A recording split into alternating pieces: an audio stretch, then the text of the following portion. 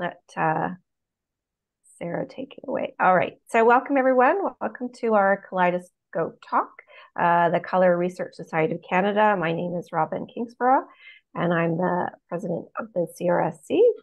First of all, I would like to please invite you to turn off your microphones. Please make sure you're muted through the talk. Um, you can leave your cameras on or off as you uh, wish. And after the talk, we'll invite you to turn your camera on. So if you want to ask questions. Um, I'd like to uh, say that the CRC's activities related to sharing color knowledge take place across Canada, understood as part of Turtle Island, the ancestral homelands of over 630 First Nation communities, representing more than 50 Indigenous nations and languages. We work to respect, affirm, and support where necessary the inherent treaty rights of all Indigenous peoples across these lands and waters.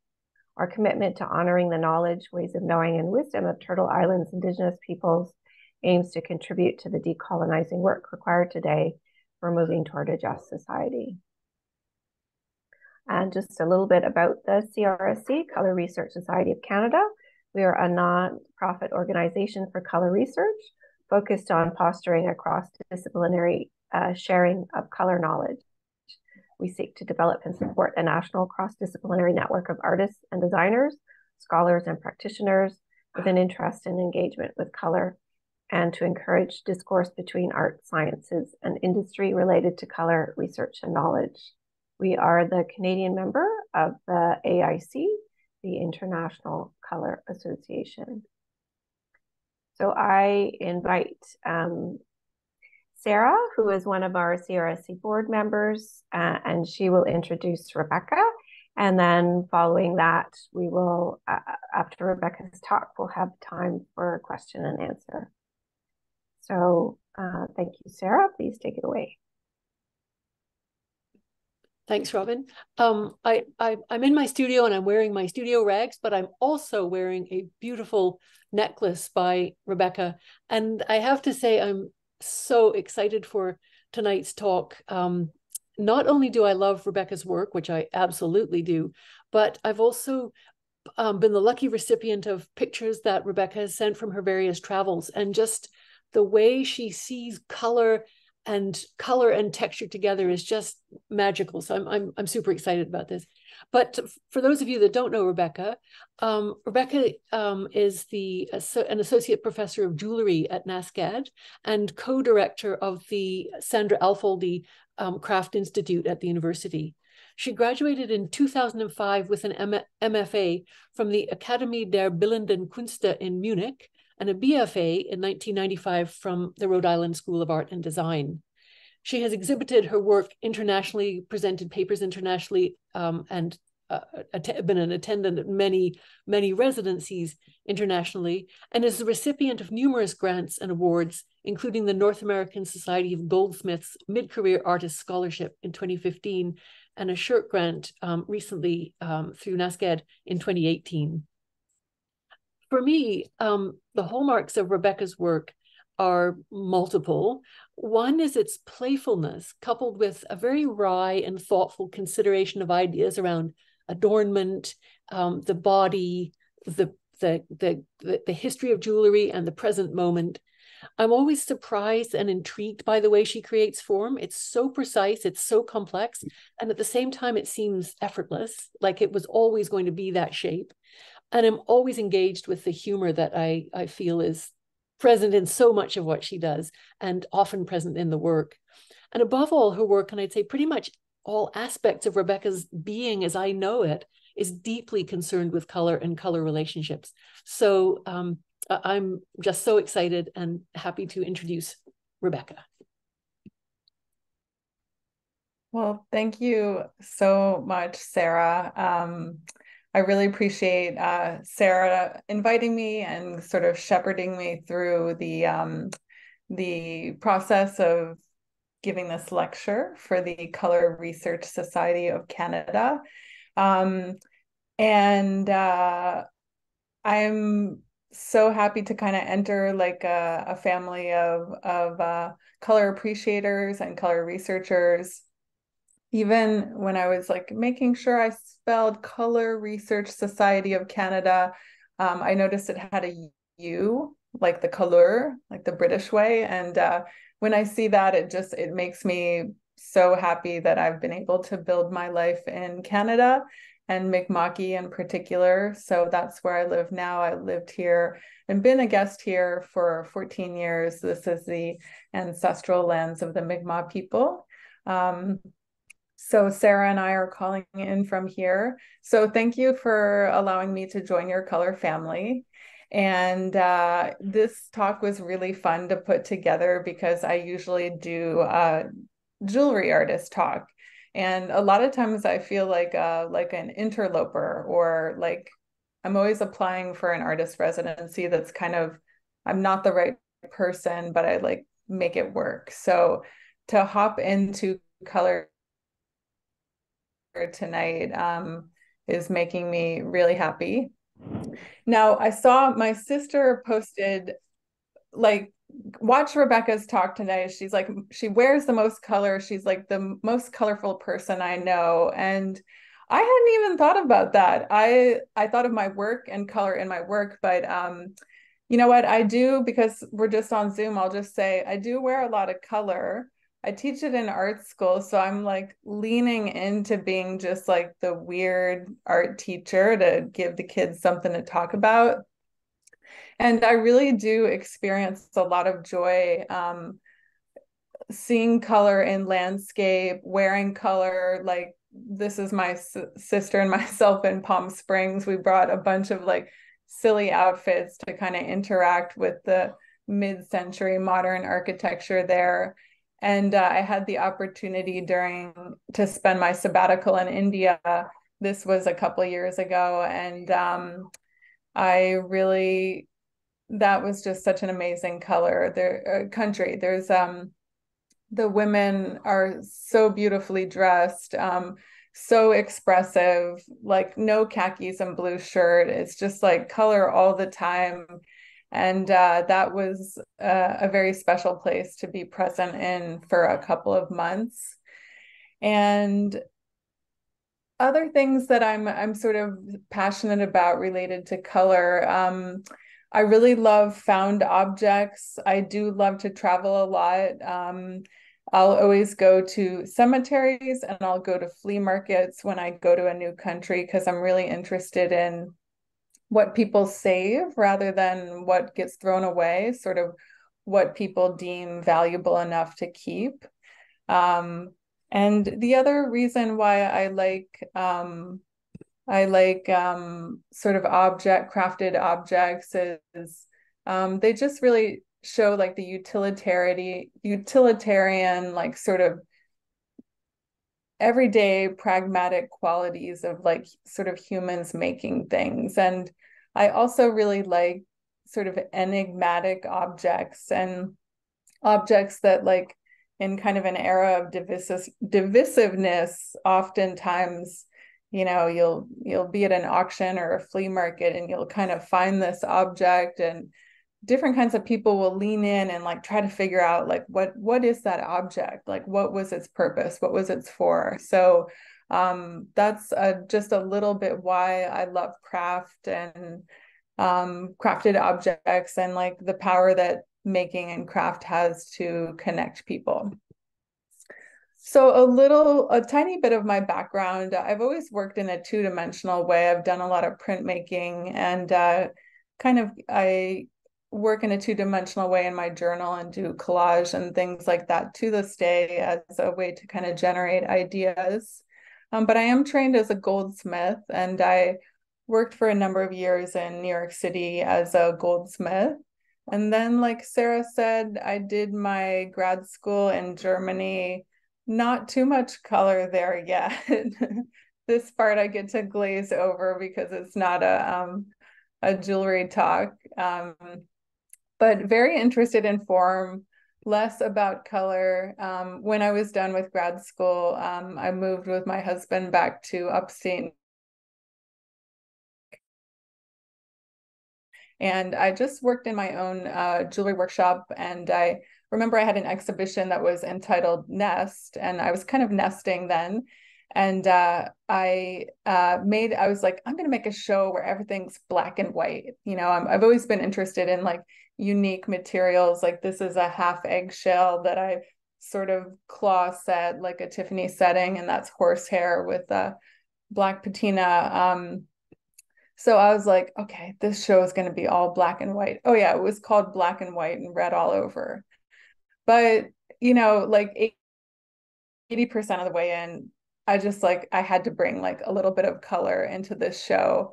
And uh, oh, I see this is in the wrong order. Um, so I did start to kind of like um, incorporate found objects. So it was black and white, and then some red, and then some other colors. Um, and in addition to like the years we lived in upstate New York, um, I was working with a lot of Formica laminates. So um, these were all hand cut with my jeweler's saw. Um, if you don't know what Formica laminate is, these are were like chips I pulled from my husband's architecture firm. So they're sort of um, really strong, durable, long wearing plastic that, you know, you can use on your countertop in the kitchen or the bathroom. And I used to kind of like grab the chips from his office because they would be replaced and I would cut them by hand. And I would say in those years, my work, it was colorful, um, but it was very two dimensional. So it had more of a, a relationship to printmaking and kind of color exploration. And at some point, I applied for a job at uh, Nova Scotia College of Design University, and I got it. Um, so it was kind of unique. I was not uh, hired to teach in the jewelry department. I was hired to teach in the foundation year. So uh, this was kind of cool. Like as a jeweler, I thought, you know, who teaches those classes? Like sculptors, painters, but I got the job. So I was thought, okay, they're entrusting me to do this. And then they said, which classes do you want to teach? We have 3D classes, we have color theory. And I was like, this is amazing because I had been on the um, jewelry pathway for so long. Like RISD was like, you pick jewelry, no more choices. Worked in New York City as a jeweler, jeweler, jeweler, jeweler, Germany, jeweler. So then I could kind of remember like the Bauhaus principles or like how Alexander Calder like took a spool of wire and like got on a ship to cross the ocean with a pair, pair of pliers and um, so they tasked me with teaching color theory classes and so i was in my first year i was staying one you know one week ahead of the students like boning up on my color theory and i remember when i first looked at a color wheel I've always loved orange. Like orange is for some reason I'm I'm very attracted to orange. And then I like things that go with orange, but I thought for sure that green was the complement of orange. So in my mind, green is the color that makes orange the most orange. And then I looked at the color wheel and I was wrong. Like blue is the complement of orange. So they're the complements are across from each other on the color wheel. And that really surprised me. And the more I studied uh, color theory, you know, there's there's analogous colors, there's triadic, you know, color families, and um, this was like I don't know, it kind of like broke my world open. It was so kind of counter to the world of jewelry making, and I I love that colors have a specific scientific kind of perceptual relationship to each other. So these are triadic color families. So, you know, and then I was teaching this to students like, you know, okay, these are the families, and like perception is a little bit elusive. It's like memory plus what you're seeing. And uh, then once I knew that there were color rules, I'm like, oh, you can break the color rules so something that has always really appealed to me is Memphis design. So this or Memphis group, Memphis design. So this was sort of an movement started by Ettore Sottsass. And it was uh, it was like really popular in the the 80s and uh, it's very polarizing. Like people either like hate memphis design or they love it. But i'm like oh all these color families are all wrong. There's like a tint in there with some white and then triadic and just like the colors are are jarring and uh, i just thought that's really exciting that you can both play with relationships and then you can also break that relationship so at the same time, I was like boning up, up on my color theory. Um, you know, I was new in Nova Scotia, so I was going to all the museums here, and I went to the Art Gallery Nova Scotia here in Halifax. And at that time, this painting was up in the gallery. So you know how when you get caught in the back of the art museum and you find yourself in like the maritime like harbor scene painting it's like they're usually pretty dry you know? So when i uh, got into this room of like you know sort of normal like maritime uh uh paintings this painting was there and i thought oh is this like a museum intervention? Like this is like looks kind of like a russian constructivist painting like but also like a very normal harbor scene and doing a little bit of research it turned out it was uh, painted by arthur lismer um, and this was a dazzle camouflage ship that was in our harbor. And he was one of the principals of the university that I teach at. Um, and uh, did some documenting during the Halifax explosion. And anyway, this was my gateway into. Um, can you guys hear my dog barking really loud? You don't hear that? Okay, thank goodness. Okay. Um, so this was my in, way into dazzle camouflage but um, i didn't find that much information about dazzle camouflage back then um, until one one night i was like in a downward google spiral and i somehow found um, these two books they're about camouflage and about dazzle camouflage and uh, they are written by roy, roy behrens who he's a professor at the university of iowa and he has dedicated his life to the study of camouflage. Not only that, like when I put these books in my basket at like one in the morning on Amazon and I ordered them, by the morning, he had personally written me. He's like, Hello, I see that you have ordered my self published books. Um, I see that you studied at Rhode Island School of Design. I want to let you know that in the archives of RISD is like one of the most fulsome collections of dazzle camouflage designs that an American donated, you know, a GI who came back from the war, and they were about to be thrown away, but a, um, a librarian there somehow knew what they were.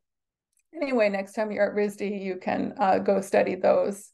So he, he had done an even later night Google a search of me, but these books are um, pretty amazing. Um, not only that, but Roy has a, a blog called Camo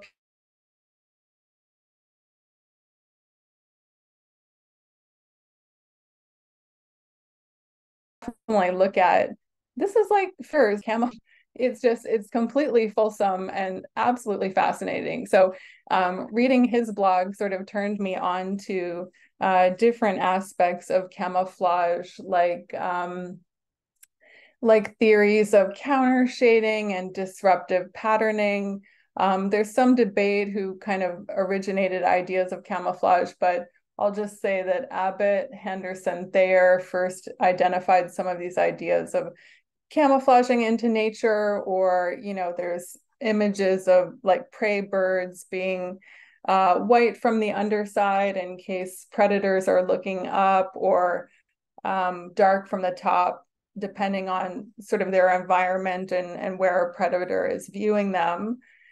And then that sort of like I went down that Google spiral to um, masquerade, mimicry, um, conceal and reveal, and kind of warning coloration and nature so because I've kind I'm kind of interested in like meaningful color patterns and color relationships, um, I really like things like this. Like this is um, one snake is poisonous and then the other snake is not poisonous, but he wants to, but he tries to look at like the poisonous one. So there's a song that goes with this. It's like red after yellow, kill a fellow, red after black, venom lack. So this is a um, a color relationship I've used in some of my work, and uh,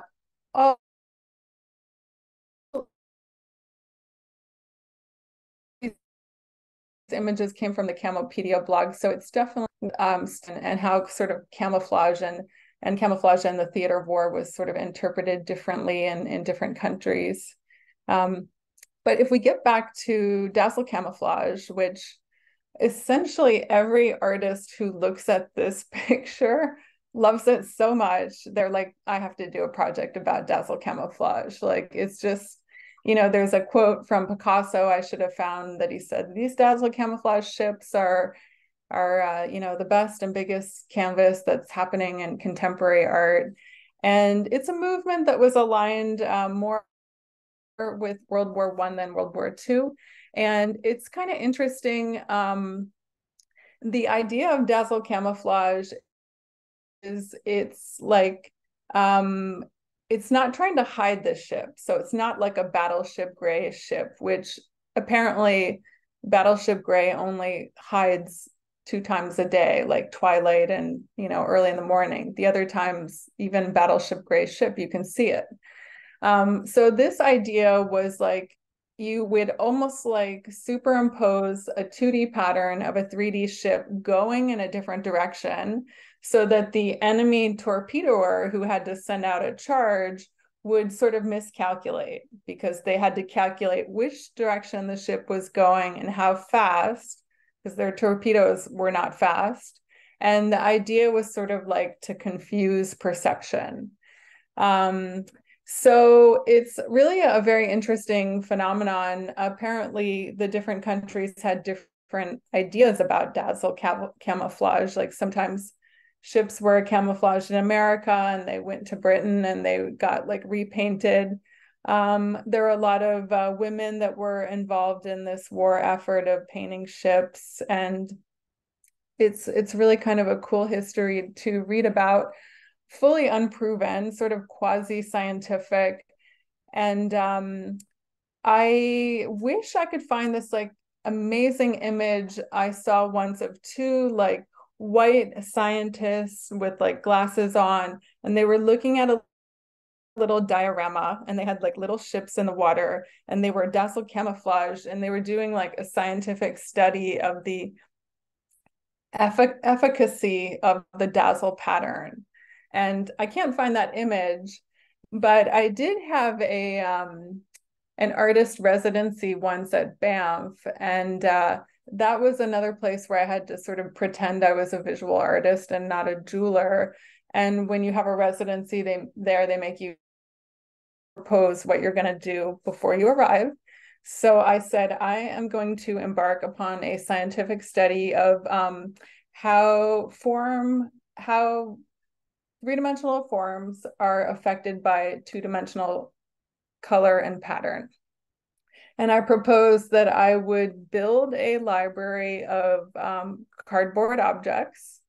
I would gesso them and then I would paint them. And just like those scientists, I would try out the objects and various landscapes to see how we perceive the form, like how color and pattern changes our perception of form. So I built these objects and then I had so much fun painting with tape. I don't know if anyone's ever done this where you put like the painter's tape on object, you release it. Um, so I just sat in this little studio and created a library of dazzle camouflaged shapes. And I also had access to uh, printmaking there. So I um, I did some monotypes with just like colored backgrounds. I worked pretty intuitively, and my idea was that eventually the object, the 3D objects would um, inter interact with these 2D planes. So I'll go kind of quickly through. Um, I of set up a, a photography, a photo shoot, and I just photographed the objects in, in different backgrounds. And had a lot of fun with that. Um, so those shots kind of showed you the setup, and then these are absolutely not um, photoshopped at all. They're just cropped, you know. So I just cropped the the setting out, and I just really like that they feel kind of abstract. They feel a little bit between digital and sort of handcrafted. Um, you can't tell exactly, I guess you can't tell exactly what they are, or maybe even somebody made them. And I just like that play between the 2D, 3D, and um, being able to play with unexpected patterns. So these are all, yeah, the 2D objects and the 3D backgrounds. And these we're going to put on hold for a little minute. They're going to come back. Um, I just want to share a little bit of uh, um, uh, like a sort of context for some of the works of adornment that I make because I am a jeweler. So this particular object here, um, I also found at um, a vintage store, thrift store, and it's sort of like pieces of wood that are hand carved and interlocked and um, I found out later through, that it's called a um, crown of thorns, and they were often used as uh, picture frames. So, you know, back in the day, you might have like one good picture, and this was like a hand carved hobby project that seemed to have like no beginning and no end. And um, I purchased this and I took it apart, and I sort of understood the way the patterns of threes uh, interlocked with each other and uh, this this pattern um, I've been kind of exploring for a number of years now. And uh, I had another residency where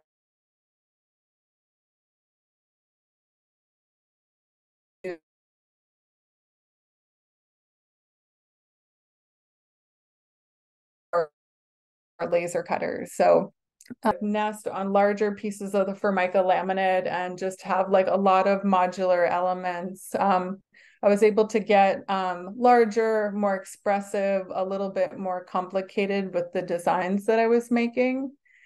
And um, this was just a this was a really amazing time. So I had three months in uh, San Francisco, and uh, for the these pieces here are all cut in cardboard. So you know with with access to that tool essentially like day and night i was able to uh, do different iterations of that initial form that i found um, so yeah so i always do those things first in cardboard and then eventually uh, I make them in Formica laminate. This is a little stop motion that I made that um, this is like something like four or five hours compressed into 20 seconds. So I just was sort of playing around. This shows the, the process and of making and the kind of color families and um, I guess sort of like the analog uh, combined with the digital.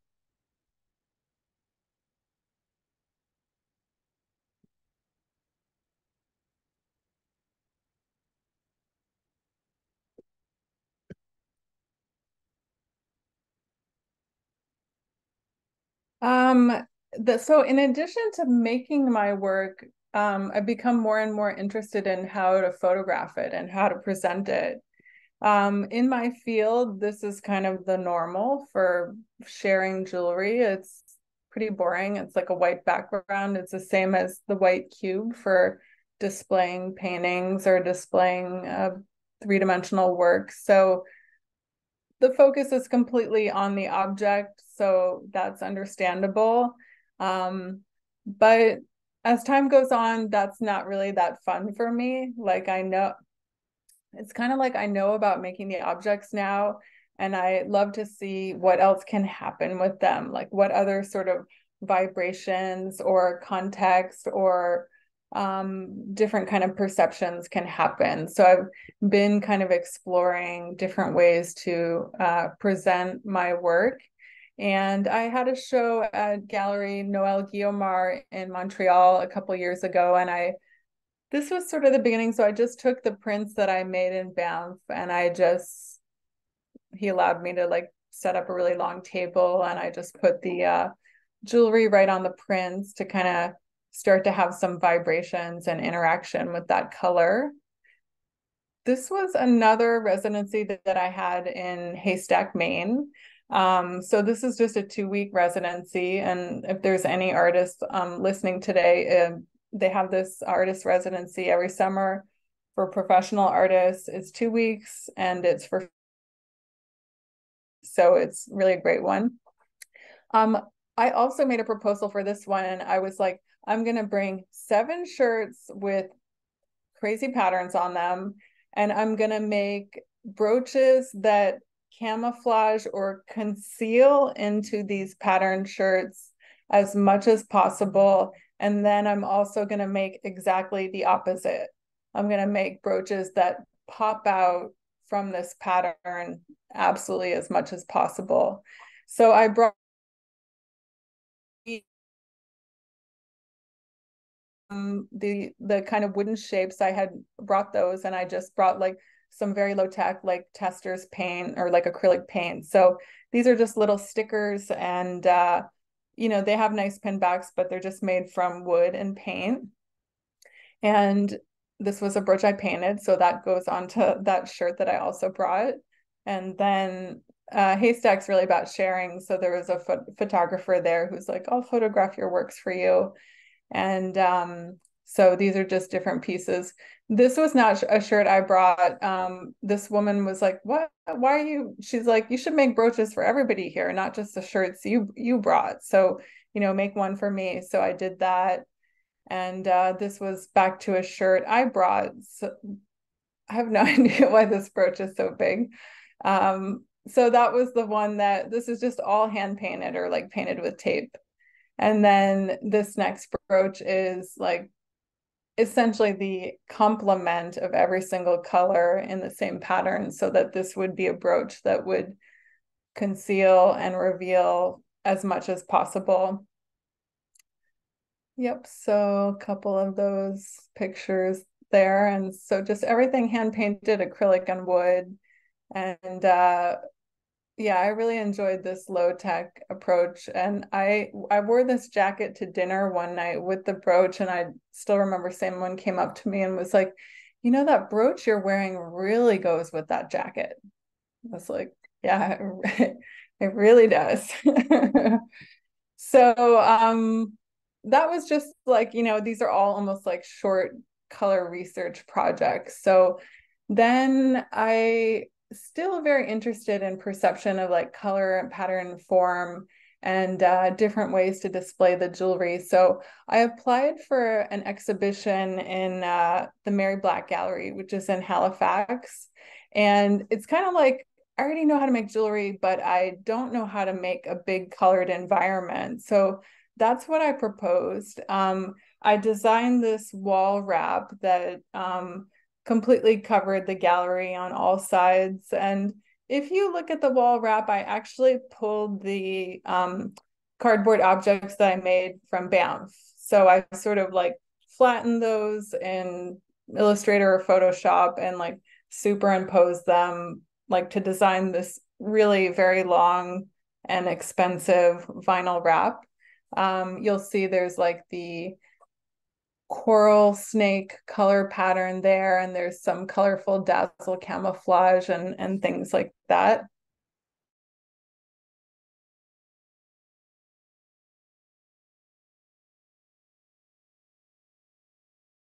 That was really labor of love to pull that that work and i put them all out on tables and i had the fun of finding the place for each piece. So just my works were installed directly on the wall and uh you know everything was just like like vibrating like being able to see color and like form in like a new way and uh again these are sort of the exploded like cardboard shapes from before so in addition to installing the works in the um, gallery, I proposed a couple things during the run of that show. Like we had a special dinner with handmade ceramics and colored food. And uh, we also had a Mary Black Dazzle camouflage night where um, an emerging artist, an emerging photographer came and uh, uh, Emily Lawrence like styled everybody. She like brought wigs and had made um, sort of clothing. And then people were invited to take the jewelry off the wall and uh, wear it. And Seamus Gallagher did all the photography. Um, so we just had a huge amount of fun, like sort of activating the space beyond the opening night. Um, other things that I've been up to, um, COVID happened and I was inside time. Uh, yeah, I didn't have to my traditional jewelry studio. So um, I know some people baked bread and did other things. I got into natural dyeing. So um, just every avocado pit for two years was saved because that makes like a, a beautiful, like, I think it's called millennial pink, the avocado pits. And, you know, I saved like the inside of birch bark and um, collected dandelions, learned about mordants and uh, even like how our copper pots versus our iron pots will cause different reactions. And, you know, it was funny because at the end, I had laundry baskets full of like colored um, fabric and journals. And at the end of it, my husband's well said, well, you know, um, if I need to find a brown dye, I'll, I'll, you know, come ask you. Cause like all of these, I guess, are like a little bit like iterations of brown, um, but like a little bit different brown. So um, I had all these like fabrics for a long time. And uh, um, last year, I worked with a studio assistant who was good at sewing. And I was like, we have to make these natural dyed fabrics into something and i was really interested in uh, making adornment that was like kind of between clothing and jewelry like i wanted to be able to put it on and really not feel it and um, so i'm still in the middle of this exploration sort of like seeing how far i can push and pull between those two worlds i also did uh, a project with a um, Carol Sinclair, who's a ceramicist from Scotland. So I was part of this exchange um, project um, between the two countries called Shift, and it was like seven makers from seven makers from Nova Scotia, and we were going to this exchange over one year, but because of COVID, it actually lasted three years.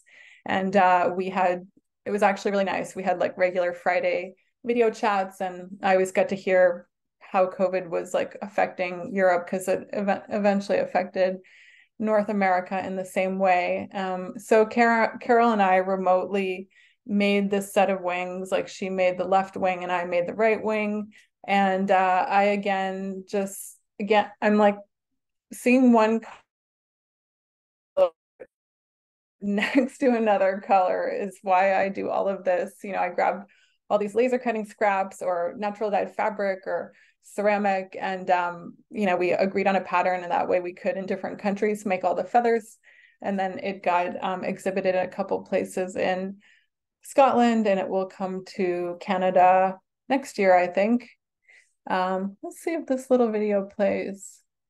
This was a show I installed in Boston last November. No time to get into this but this was whole set of watercolor paintings I did and then the jewelry that sort of resulted. So the watercolors I started during COVID as like sort of a low tech way to um, stay creative while I didn't have access to my studio, and I let that inform some uh, new works of art um, that I was designing. And this was one of the pieces. So this is a big piece of wood with acrylic um, paint and a vintage silk obi sash um, these are, I've kind of started um, a project exploring the Harlequin pattern. And this was, I made some of these wooden beads and just hand painted them with testers oil paint. And I've also been exploring color. There's a way to um, use colored pencil on metal. If you like gesso it and do a bunch of layers of colored pencil and uh, shellac them and wax them, it's really a resilient um, finish. So um, this is metal work with colored pencil. Um, and this is what I'm still exploring right now. So I'm, um, yeah, I've always kind of abstractly been interested in the Harlequin pattern. Sarah, that's the name of the necklace that you wear too. And the more I've started to look into that, it's part of like the history of uh, Italian comedic theater. And um, the Harlequin pattern is so bold and uh, so recognizable, but they also call it a mask. Like, like the Harlequin wears a mask of color. And I think that's kind of cool to like hide behind something that's very colorful. Um, so anyway, I'm telling you all that because I'm always interested in collaboration and people who are are like-minded or share similar research interests. So if any of that interests you, I would love to hear from you.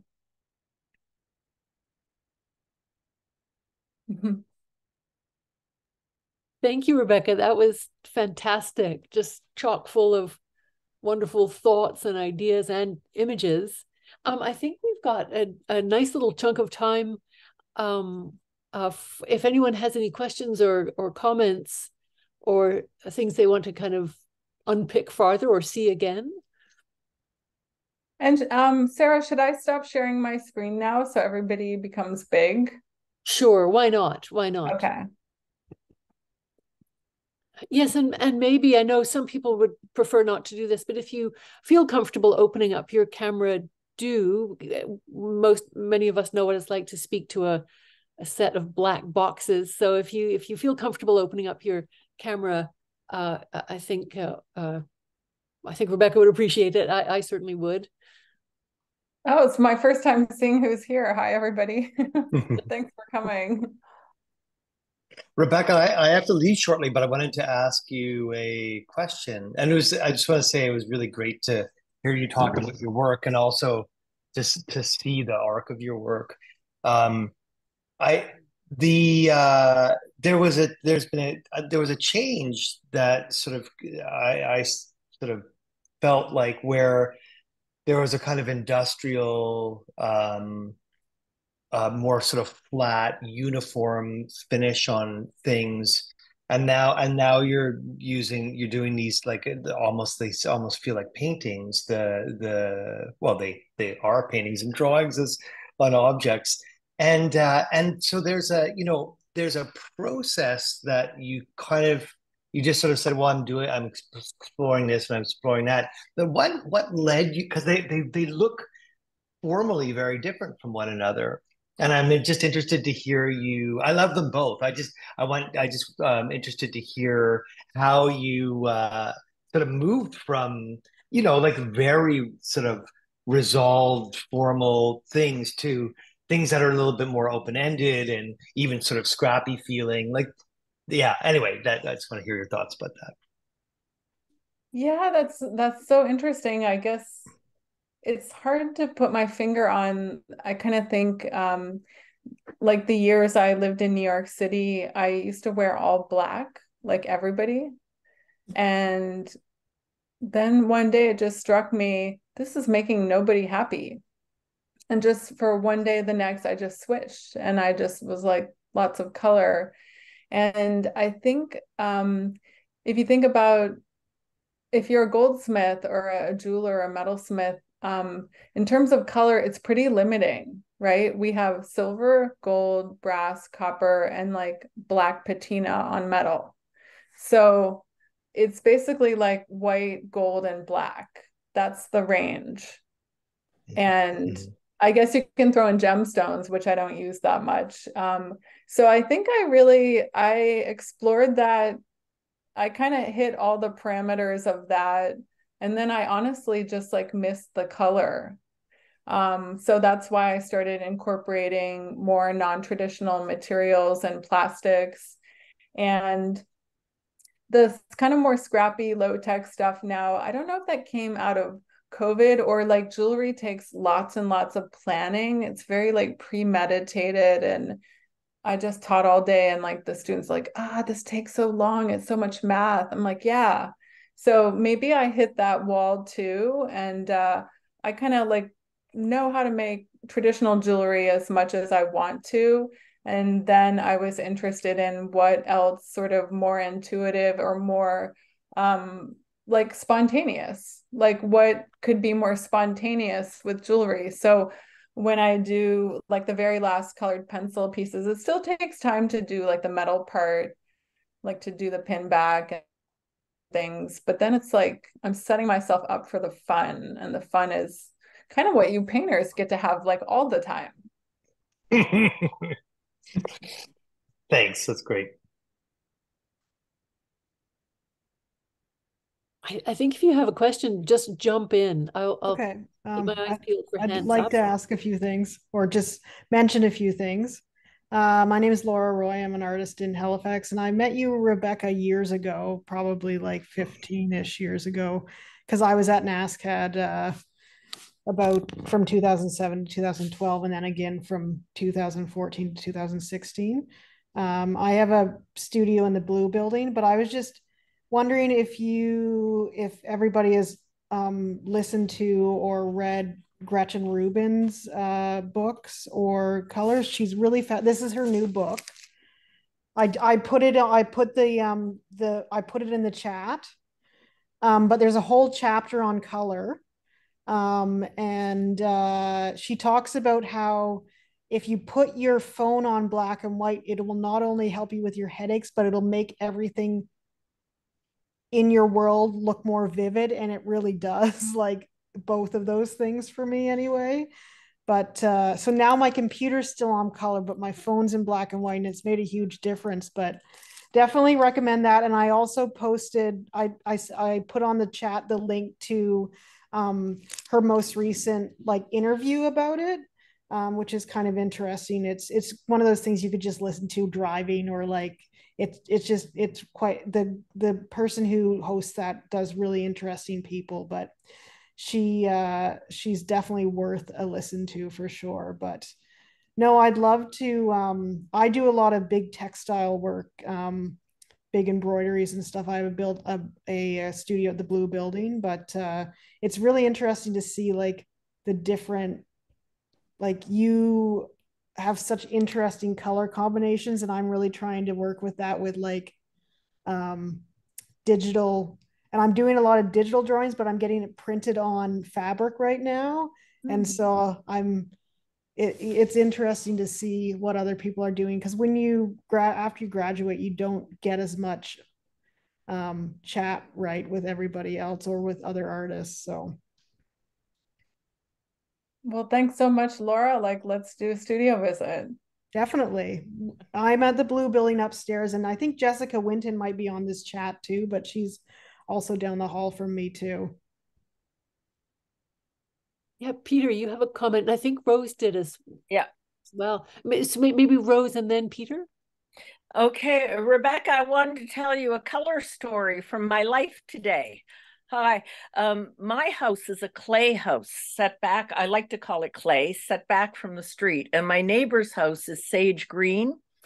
And she had it, she's having it painted today. And she's having it painted lime green, the brightest lime green I've seen in my life. Anyway, I've been playing with color theory all day and testing my eyes.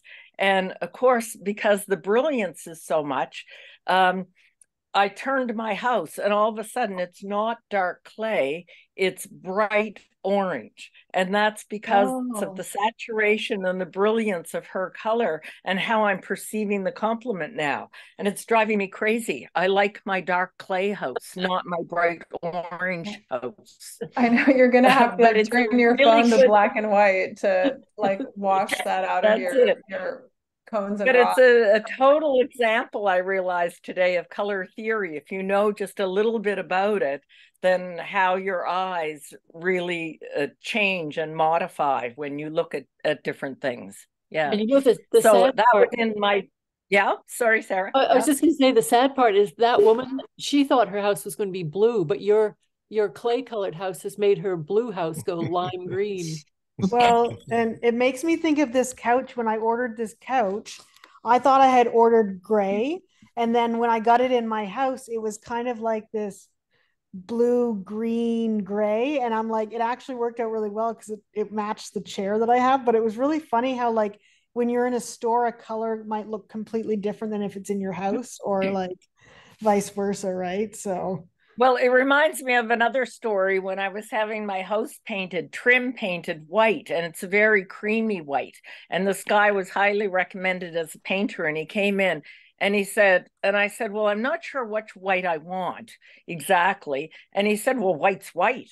And I went, oh my God, he's not painting my house. There's white, there's cool white, there's rose white, there's purple white.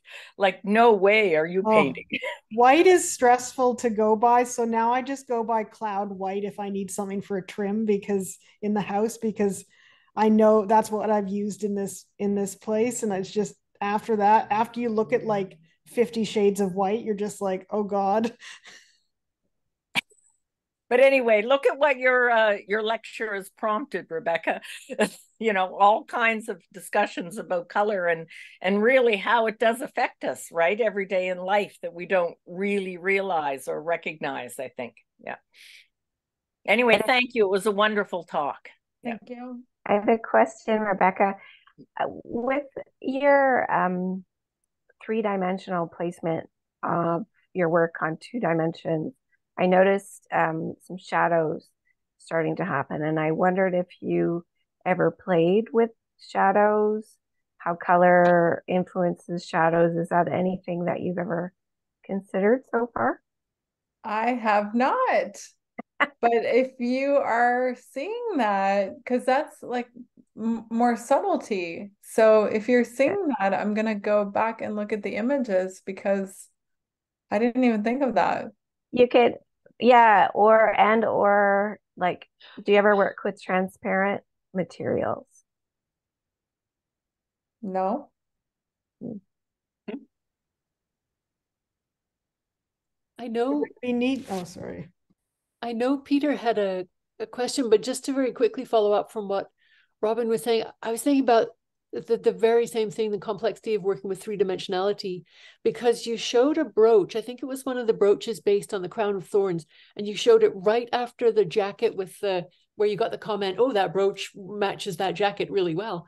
The very next image was of a, a crown of uh, thorn. I think it was a crown of thorns brooch, and there was a, a pink cutout shape, and at the top where it was in mostly in light, it was quite pink, and at the bottom where it was in shadow, was a kind of a coral coral brown color and it made me you know a painter i'm working for the most part with things that are completely flat and don't change i mean they change according to the color of the light they're in but the, mm-hmm. they're not moving around continuously but it struck me as a jeweler you're working with things that are always being affected by the curve of a body or the, like a three-dimensional shape that might affect the color of a flat surface um like like your crown like your crown of thorns uh, jewels, you know, some of those planes are in light, some of those planes are in shadow, and so the color changes.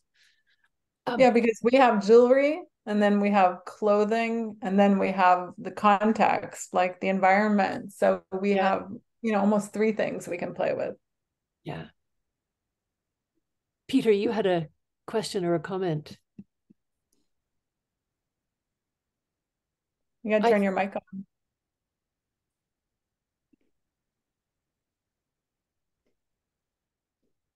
All right, live now.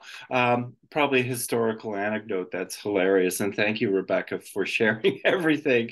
But from one Dazzle ship nerd to another, the reason why Dazzle never really worked was all the graphic representations we have are all of the color patterns, and the ships are at still beside each other. But these uh, ships were powered by coal fired steamship engines and they belched a heck of a lot of black smoke. And the submariners on the other side figured out pretty quickly which direction they were going and at what speed. so all the coloration and stuff aside, that was the core. There's absolutely no evidence that this actually helped. It was like the black smoke belching out of the pipes. But but like they went for it, even though it was like totally yeah. unproven. Like they went for yeah. it. again back to your picasso and gertrude stein quote about you know the cubists having invented somehow camouflage Thank you. There's a question in the chat from Jessica. Jessica, you want to just spit it out? You may also be muted. Hi. Um, I guess, Rebecca, I was just knowing, you know, sometimes you sell your work to people and they purchase it to wear for themselves. I was wondering if you had noticed any uh, relationship between the colorways of things that you sell to folks and their personalities um, or like the scenario that you're selling them in? Like you know during politically turbulent times are the bright the brightest pieces uh, of most interest? Or you know uh, I, I was just wondering if you had any uh, noticed any relationship with with that. That's an interesting question, Jessica. I guess I haven't noticed color relationships with particular people. Um, I do know most people like would not wear my work or buy it. Like, I mean, the like some of the bigger almost like elizabethan collar like most people are like oh that's kind of big. But some people do you know? I have sold some of them and i sometimes know a little bit about the people that buy them and i do like to imagine those pieces going out in the world. Like there's a woman i follow on instagram who's uh, 93 and she like posts her age every day i'm 93 and she wears like totally crazy like uh couture clothing. She's always going to art events and then she'll tag me sometimes because she has some of my jewelry and that makes me really happy like what she's chosen and that she's like fashionable at any age. Um if i could multitask i could put her in i think it's like Corinne Warner 40 or 50 um so but you know the thing i am thinking about more now with like the harlequin pattern and that like people wear bright clothing or bright adornment as sort of um like a mask. Like when you wear it actually everybody's going to talk about the jewelry. Like it is attention getting but then you don't have to talk about yourself. Like i don't have to say oh this is my job or i live here you can just talk about like the crazy thing you're wearing. So that is what is kind of interesting that bright color and bold form can like conceal who you are in a way if you're brave enough to wear it, which I hope you are. Yeah, I have a shirt that I call the distraction factor. Um, because mm-hmm. it's just like dazzle camouflage and uh, it always makes me um, feel like well i just it is one of those shirts that's kind of uh, see, finds so much attention that um, it distracts from whatever's not going well with your hair or anything else like that. So yeah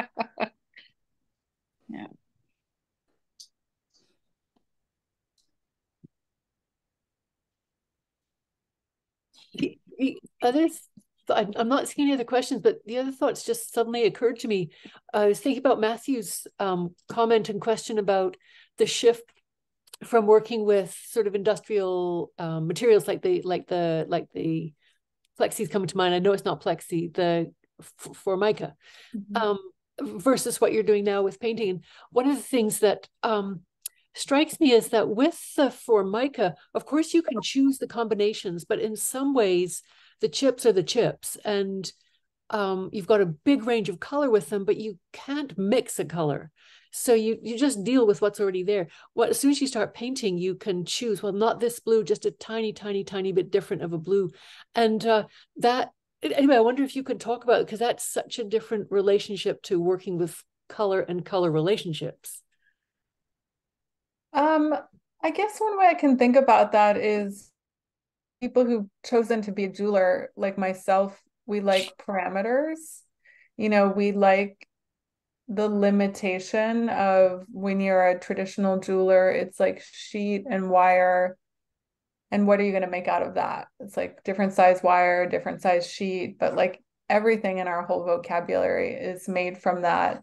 And i know for a lot of years i would be in different you know art summer camps or art jobs or residencies where there was always a clay studio and i was always right next to it and i like didn't go there because it just seemed like clay was like too squishy. Like there wasn't enough resistance, there wasn't enough parameter. And um, in recent years, I am interested in clay. Like I finally touched it. I'm like, oh, this material is so forgiving. Like you can just start again. You just, it's like nothing, you can't start it or again in jewelry. like when you've gone down that pathway, you just grab some more metal and and do it a second time. So I I think yeah, it's just that like openness that sort of has come with time that I needed to develop my vocabulary and that more industrial like limited but then almost like having a canvas like now I can choose to break out of that. Like even with the that very last slide of like the harlequin earrings and the different colored pattern i just discovered that there's gesso of different colors. Like sarah you didn't tell me that. I just we made or like rabbit skin glue gesso and this gesso and that it was always white. And i went to like uh, a store in new york in summer and there was like all the colors. So i bought it because i'm like ooh what if a little bit of like green or brown gesso shows through? And like it does. And it's like so exciting again. And uh that is i i don't know if colored pencil and paint and things solution for jewelry like it it's not as durable as gold and metal but um it feels like the right thing right now to kind of do that color exploration that you're talking about yeah yeah any other comments or questions that uh, that anyone is burning to ask Rebecca? Well, I'm not seeing anything. I'll just quickly check the chat, but no, I don't see anything there. So I guess it just remains to say two things. One is thank you so much for attending this talk. It's the Color Research Society of Canada. Our next talk is unclear because the speaker recently um, uh, uh, uh, was incapacitated because of anyway was incapacitated. So it's unclear but it, it could well be in october. It'll be posted on the color research society of canada's uh, website.